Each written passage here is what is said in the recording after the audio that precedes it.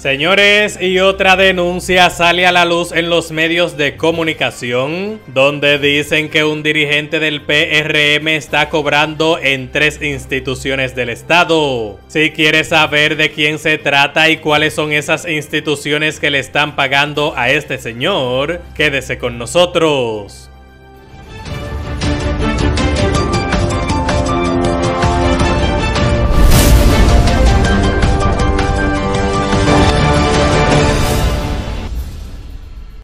Señores, y fue denunciado el dirigente del Partido Revolucionario Moderno, Michael Lindel Sena Sierra, por estar devengando salarios en tres instituciones públicas del Estado, y según registro del portal de la Contraloría General de la República Dominicana, Sena Sierra está nombrado en la Comisión Presidencial de Apoyo de Desarrollo Provincial, con un salario de 35 mil pesos mensuales, también está nombrado con 55 mil pesos en el Ministerio de Educación. Además recibe otro salario de 40 mil pesos en el Ministerio de Salud Pública y Asistencia Social.